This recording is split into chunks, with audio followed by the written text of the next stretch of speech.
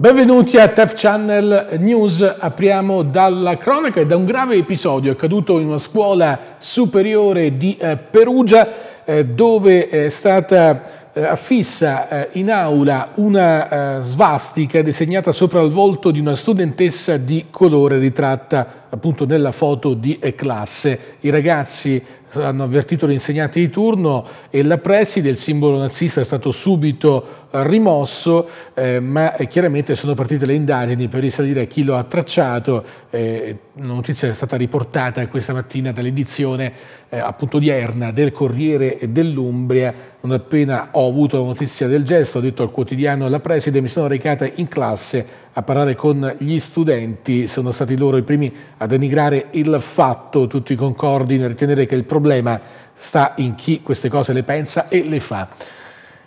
Adesso andiamo per un attimo nella provincia di Perugia, a Bastardo, dove eh, è venuto un incidente eh, stradale mh, proprio in, uh, alle prime ore del mattino, erano le 2.10 eh, della, della notte, una vettura alimentata a gas, dopo aver sbandato è finita contro un'abitazione in seguito all'urto ha preso fuoco, nessuna persona è rimasta coinvolta, la casa ha subito alcuni danni esternamente causati dalle fiamme. Sul posto i vigili del fuoco, i sanitari del 118 e le forze dell'ordine. Adesso eh, parliamo dell'E45, dei problemi relativi alla eh, chiusura, al transito dei mezzi pesanti. Ieri eh, un presidio di, di, protesta da parte dei sindacati, eh, abbiamo riportato le dichiarazioni del segretario CGL di eh, Perugia che ha eh, analizzato quelli che sono gli effetti sull'economia umbra e non solo di tutte le regioni toccate dalla E 45 eh, i trasporti naturalmente sono alla base anche del buon andamento delle imprese in più settori.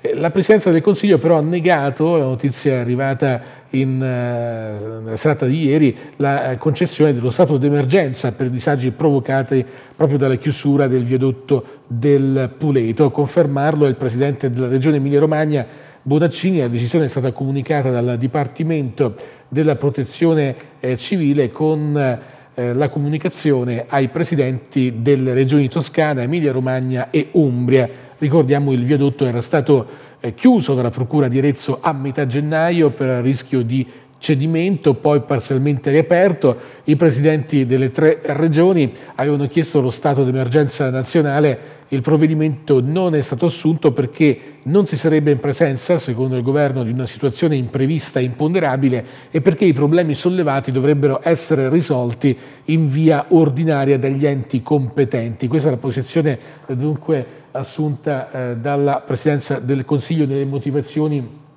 del diniego della concessione dello stato eh, di emergenza, quanto poi all'assistenza alla popolazione si tratterebbe di attività limitate e quindi anche in questo caso da attuare in via ordinaria, così come sulle misure di sostegno alle attività economiche che non possono essere ricomprese nelle categorie di intervento previste nelle norme di eh, riferimento. Dunque queste sono le motivazioni addotte per quanto riguarda la decisione assunta dopo la richiesta anche da parte dell'Umbria dello stato di emergenza nazionale per la situazione legata a quel tratto di E45 dopo, la, eh, dopo il sequestro del gennaio scorso del viadotto Puleto. Adesso torniamo a Perugia per eh, parlare dei vantaggi della telemedicina con il servizio di Elena Balarani.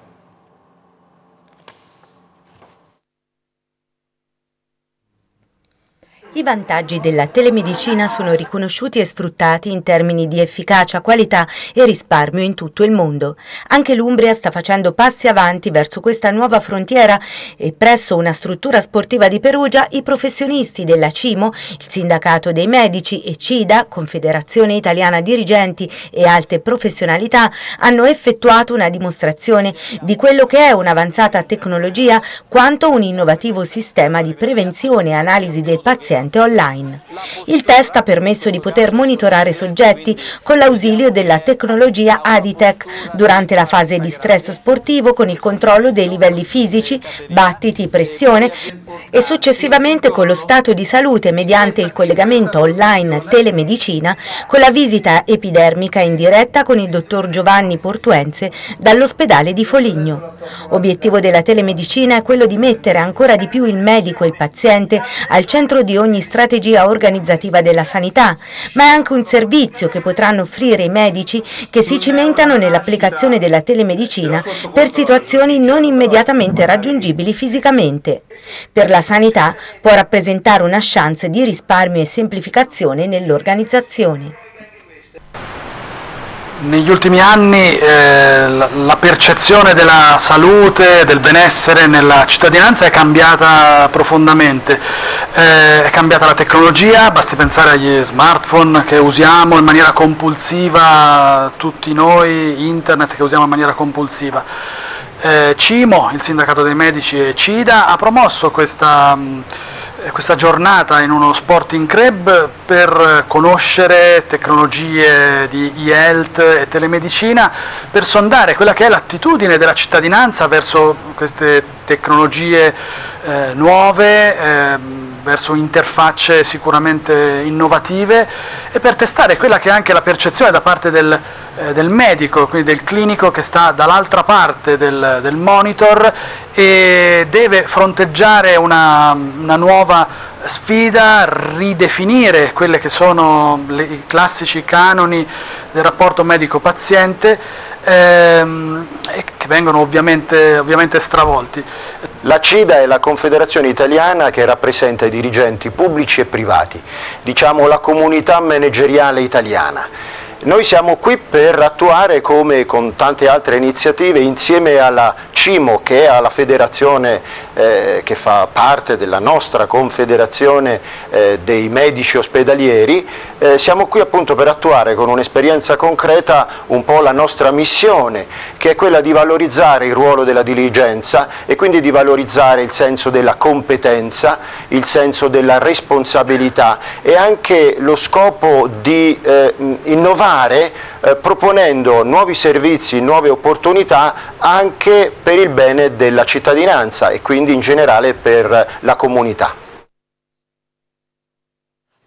Allora, rimaniamo in ambito sanitario perché proprio sulla sanità si concentrano le considerazioni, le ultime ore eh, della eh, Lega di eh, Terni eh, che ehm, chiede eh, maggiori garanzie dal nuovo piano sanitario regionale eh, si scrive in una nota che circa un mese fa eh, a Palazzo Spada si è tenuto un incontro con l'assessore regionale della sanità Luca Barberini per evidenziare gli aspetti urgenti inerenti alla situazione eh, di Terni, eh, spiega la Lega che proprio nell'incontro con l'assessore della sanità si era ribadita la necessità di affrontare le tematiche più urgenti come la bozza del programma sanitario regionale, i posti vacanti di primario e la città della eh, salute. Secondo la Lega però al momento non si sono avute risposte definitive eh, a questi argomenti sollevati eh, quasi due mesi fa e, riguardo al programma sanitario regionale eh, si era proposto anche un incontro per vedere la bozza che a parere unanime appariva penalizzante per la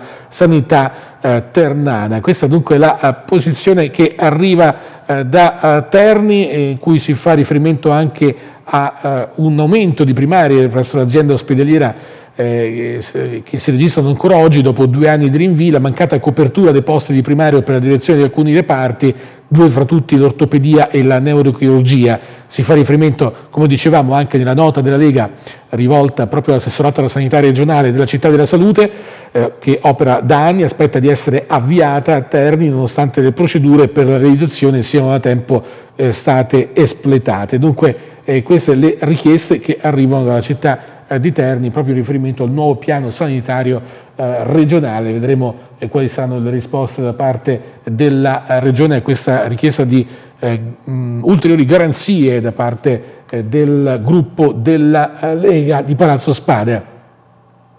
Adesso andiamo a scoprire le bellezze dell'Umbria, a riscoprire anzi e a riproporre eh, anche fuori dai confini eh, regionali eh, le grandi qualità eh, della nostra regione. Lunedì 8 aprile infatti a Milano l'Umbria presenterà la sua cultura, le sue bellezze a Palazzo Barozzi. Vediamo il contributo di Paola Costantini.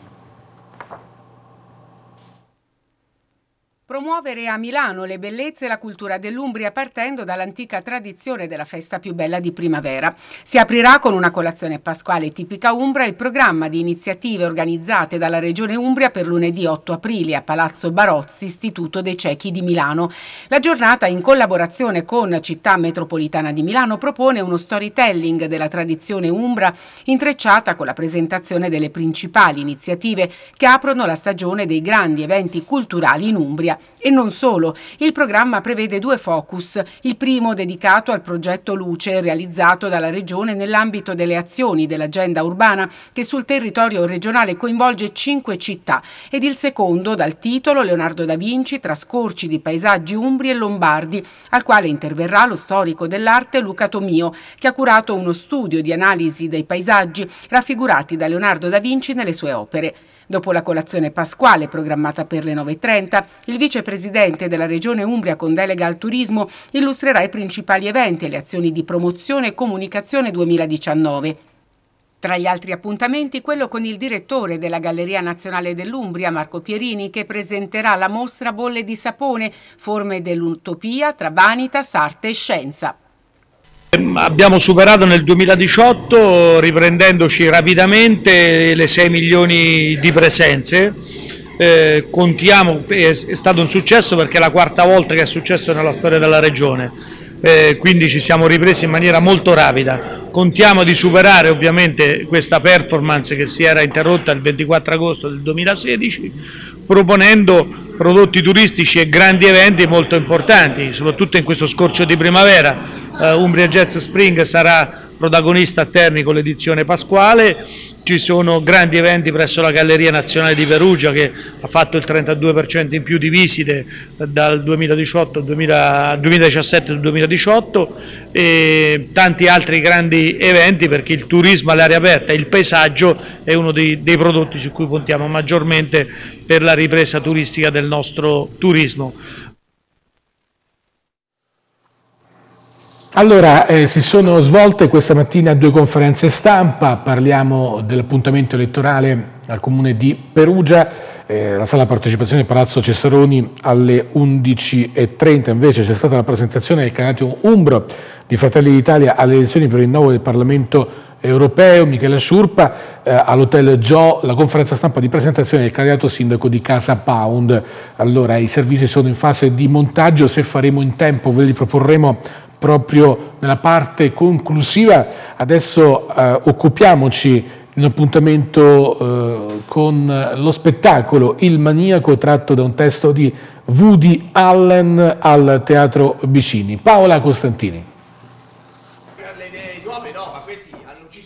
I ragazzi della compagnia perugina Cartago Teatro hanno portato in scena al Teatro Franco Bicini di Perugia Il Maniaco per la regia di Medi Crayem. Lo spettacolo è tratto da un testo scritto da Woody Allen e pubblicato nel 1975. La commedia, dai tratti noir e surreali, indaga il rapporto del singolo con la propria parte folle, irrazionale e nascosta e il modo in cui questa possa essere nascosta in piena vista nella vita di tutti i giorni. C'è l'opportunità di imparare qualcosa sulla natura della sua pazzia, perché è così cosa può spingere un uomo a un tale comportamento sociale. Certe volte gli stessi impulsi che spingono un maniaco a uccidere possono spingerlo a risultati altamente creativi. È un fenomeno molto complesso. Sono alcuni degli interrogativi e delle riflessioni che suscita questa rappresentazione teatrale e che gli attori, tutti di età universitaria, portano in scena è sempre una bella esperienza lavorare con gli studenti universitari, ti danno questa soddisfazione che magari qualcuno qualche volta mancano ti aspetti, sono giovani pieni di spiriti, di entusiasmo e di voglia di, di fare, il teatro, il teatro è vita, il teatro eh, appunto eh, si manifesta in questa forza, queste energie che hanno i giovani, è bello vedere appunto eh, giovani impegnati a fare attività culturali come il teatro, complessa ma anche bella, bellissima come il teatro. Eh, Quest'anno abbiamo scelto Il Maniaco, un testo tratto da, da Kleinman di Woody Allen, è un testo, diciamo, una commedia nera, eh, diciamo, eh, tutto succede a New York, un quartiere di, di New York dove appunto c'è questo maniaco che gira e tutto il quartiere eh, si mette d'accordo di come acchiappare questo maniaco. Allora abbiamo un attimino rivoluzionato la scaletta anticipando anche la pagina eh, culturale, intanto un aggiornamento che arriva dalla USL Umbria prima di tornare su un tema che abbiamo toccato in settimana eh, sulla questione FCU, si va verso eh, l'assunzione della gestione da parte di Rete Ferroviaria eh, Italiana, una notizia che arriva dalla USL Umbria 1 eh, perché i cittadini residenti proprio in questo territorio, nel territorio della USL Umbria 1, sarebbero più attivi dell'intera regione anche rispetto alla media nazionale la situazione sembrerebbe confortante quanto emerge dai dati diffusi in occasione della giornata mondiale dell'attività fisica del servizio epidemiologia del Dipartimento di Prevenzione della stessa USL. Siamo ancora in attesa dei contributi eh, proprio da Perugia per quanto riguarda due conferenze stampa, la presentazione del candidato Umbro di Fratelli d'Italia alle elezioni per il rinnovo del Parlamento europeo. Intanto torniamo su un tema molto delicato per la rete ferroviaria regionale con eh, l'ex FCU e le prospettive con eh, la gestione che è ormai imminente da parte di Rete Ferroviaria Italiana si è fatto un altro passaggio negli ultimi giorni. Sentiamo Marco Brunacci nelle sue riflessioni di time out.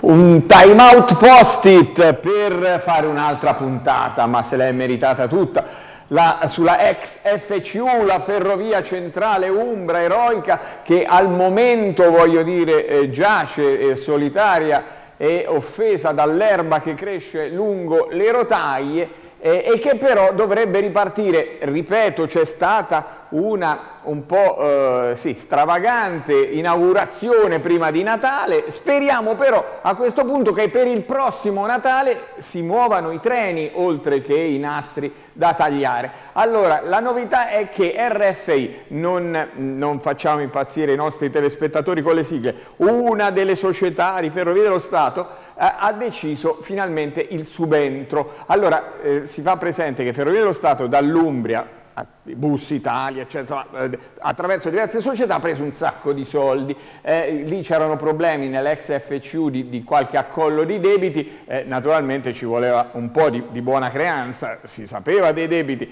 i soldi sono entrati e bisogna poi fare del business con, con i trasporti, no? sapendo che poi ci sono dei soldi pubblici ancora sul trasporto pubblico. Bene, un passo in avanti, vediamo se riusciamo ad accelerare, qui stiamo andando a una velocità minima, eh, bisogna che questo diventi un problema eh, non solo sociale ma un problema della politica.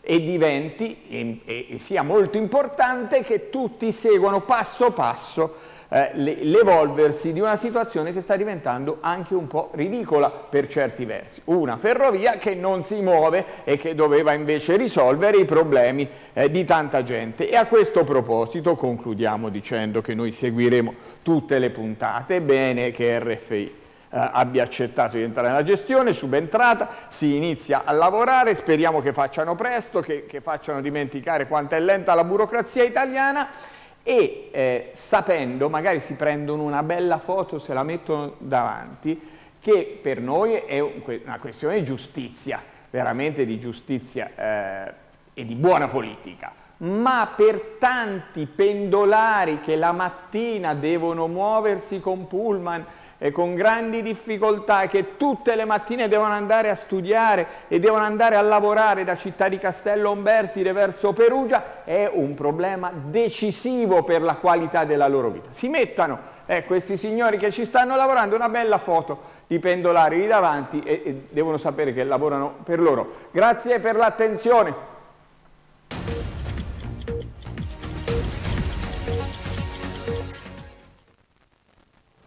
Adesso due contributi curati da Nicola Agostini, torniamo alle comunali. 2019, l'appuntamento elettorale per il comune di Perugia, oggi la presentazione del candidato sindaco di Casa Pound, poi ci trasferiremo alla sala partecipazione di Palazzo Cesaroni, sempre a Perugia, con la conferenza stampa di presentazione della candidata Umbra di Fratelli d'Italia alle elezioni per il rinnovo del Parlamento europeo Michela Sciurpa, contributi eh, firmati da eh, Nicola Agostini. Vediamo.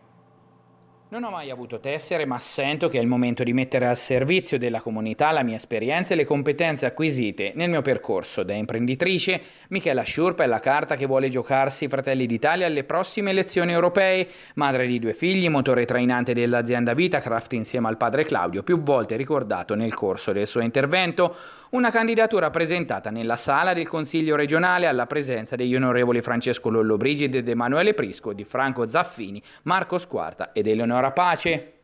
È vero, è una grande sfida, è una sfida che mi hanno convinta ad affrontare con tutta me stessa. Voglio davvero fare la differenza, ecco perché sono entrata in gioco ed ecco perché voglio rappresentare l'Italia, le donne, le imprese in Europa.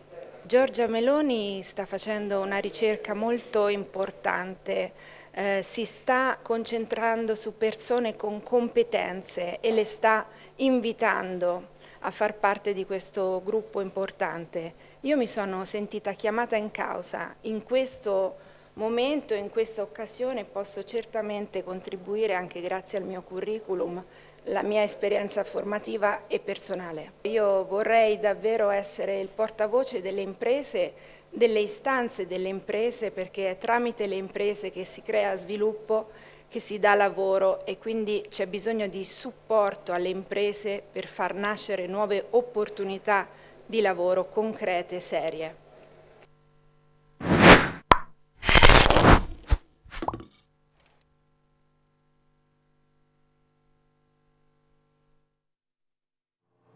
Sì, tra poco lo sport, eh, come avete visto, eh, per quanto riguarda invece il secondo contributo ve lo proporremo eh, nella eh, giornata di lunedì, sempre a proposito delle elezioni, in questo caso le comunali 2019 eh, a Perugia, eh, conferenza stampa di presentazione del candidato sindaco di Casa Pound, avete invece seguito la conferenza stampa di presentazione della candidata Michela Sciurpa di Fratelli d'Italia alle elezioni per il rinnovo del Parlamento europeo. Adesso lo sport qualche eh, secondo di eh, pubblicità, torniamo subito con eh, tutte le anticipazioni.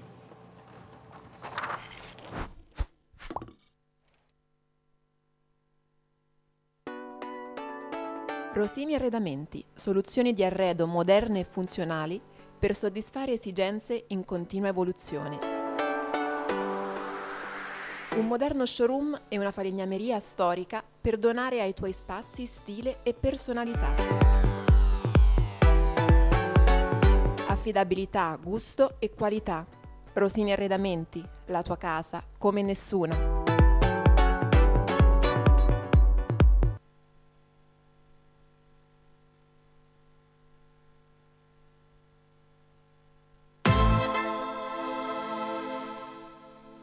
Forti Infissi, eccellenza italiana nei serramenti, produce finestre in PVC ed alluminio.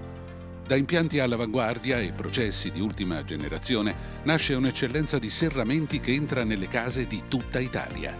Finestre di altissima qualità, create nel rispetto degli standard italiani per garantire i massimi livelli di comfort abitativo, design e risparmio energetico. Oggi con il 50% di incentivo fiscale.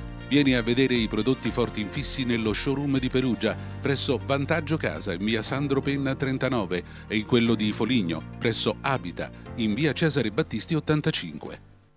DCD Studi Estetici è leader in Italia per il dimagrimento. Vieni a provare le nostre soluzioni innovative. Con Electro Sculpture rimodelliamo, tonifichiamo, eliminiamo centimetri, cellulite e buccia d'arancia. Con crioterapia eliminiamo il grasso localizzato con risultati immediati. Alla DCD sarai sempre sotto controllo medico e con le diete normocaloriche e personalizzate associate ai nostri trattamenti otterrai grandi risultati. DCD Studi Estetici Perugia, via Gerardo Dottori 93, telefono 075 527 1330 dcddimagrimento.com Avevo paura di donare il sangue, ma poi con questo gesto ho aiutato Elena, Filippo, Samir, ma anche molte altre persone.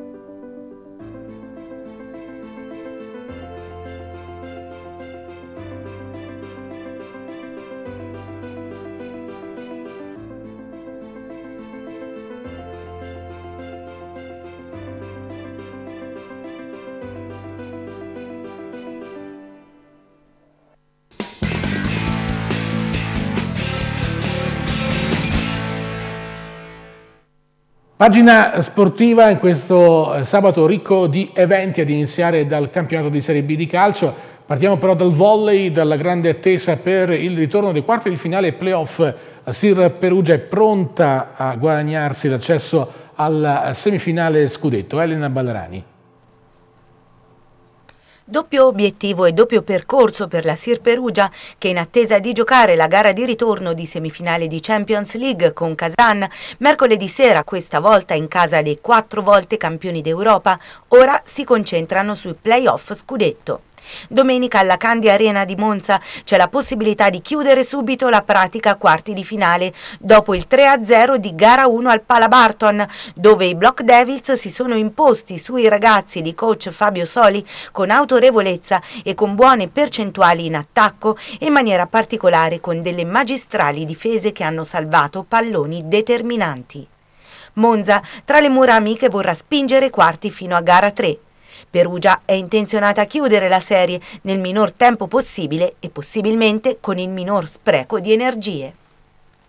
Loro sono una squadra che giocano molto meglio fuori a casa che a casa loro, infatti è l'unica squadra che ha battuto qua a casa nostra, quindi alla fine siamo entrati nel ritmo soprattutto con la battuta, alla fine è andata molto bene, un risultato 3-0 netto però ripeto il primo set era decisivo comunque. C'è Monza, eh, non, non, dimentichiamoci che il nostro percorso è parallelo, il campionato è importante tanto quanto la Champions, quindi sarà importante eliminare dalla testa questa, questo rancore diciamo, e concentrarci sul campionato, possiamo chiudere quella pratica e concentrarci poi sulla Champions League, quindi tutto possibile e io sono un sognatore quindi eh, ci credo. Sicuro loro rischieranno il servizio eh, al massimo, insomma, non... quella è la loro prima, prima, arma, che se noi abbiamo palla, palla in testa, se Lucio ha palla insomma, in, in, testa, la palla precisa, diventa dura per, per tutti.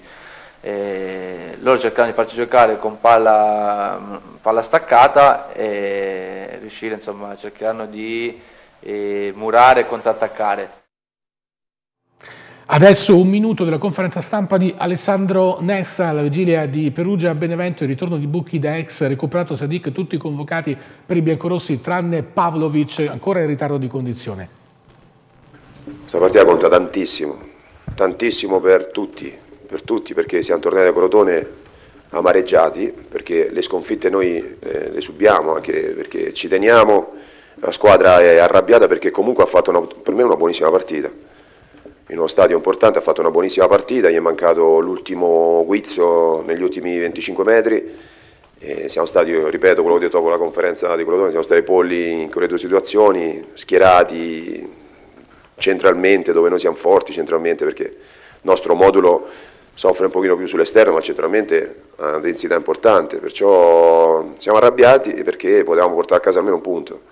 Perciò squadra arrabbiata, spero che sia molto concentrata e si prenda quello che vuole, questa volta si deve, si deve prendere tutto, perché abbiamo regalato, me, abbiamo regalato punti, abbiamo fatto qualche regalo in giro e la squadra deve avvertire questa, questa arrabbiatura, deve essere arrabbiata, poi una squadra arrabbiata che capisce che ha fatto bene, io sono contentissimo di quello che fanno i ragazzi perché tutto quello che chiedo fanno, sono, sono dei soldati. E adesso la Serie C con la Ternana che si vedrà eh, con la Fermana in trasferta, mentre il eh, Gubbio affronta la seconda forza del campionato, la Triestina. I due servizi di Nicola Costini. 400 tifosi al seguito per una Ternana chiamata a ritrovare quella vittoria che manca dal 26 dicembre e lontano dal Liberate addirittura dal 7 novembre a Fano, trasferta fondamentale per i rossoverdi di Gallo che domani alle 16.30 scenderanno in campo a Recchioni di Fermo contro una Fermana che ha conquistato due punti nelle ultime tre partite. Ternana chiamata a tenere a distanza di sicurezza la zona play-out ora ad appena tre lunghezze. Diversi dubbi di formazione per Gallo che dovrà rinunciare ancora a Paghera e Riso Kristov. I tifosi rossoverdi sperano che finisca come all'andata quando vantaggiato i defendi firmarono il 2-0. Arbitra tremolata di Monza, assistenti di Ambrosis e Bertelli di Busto Arsizio. Allungare la striscia utile è l'obiettivo del Gubbio che domani alle 14.30 ospita la Triestina dopo la splendida vittoria di domenica scorsa a Monza che ha proiettato i rossoblù di Galderisi a più 4 sulla zona play-out. Proprio il tecnico sarà l'ex di turno contro gli alabardati secondi in classifica scivolati a 7 punti dal Pordenone capolista dopo il KO di domenica con l'Imolese. Proprio Galderisi dovrà ancora fare a meno di Piccinni e De Silvestro, probabile riconferma dunque del 3-4-2-1 visto a Monza. L'obiettivo è provare a centrare quella vittoria al Barbetti che manca dallo scorso 20 gennaio con la Vispesaro. All'andata finì 2-2, arbitra De Angeli di Abbiate Grasso, assistenti Catamo di Saronno e Avalos di Legnano. Vi lascio alla grande serata di calcio dalle 17.30 in diretta a tutta B con Perugia Benevento e il post partita in esclusiva Nesta Microfoni ITF Channel dalle 21 a ridosso delle 21 il calcio di Serie A con QSVS fino alle 24. Grazie per averci seguito, a presto.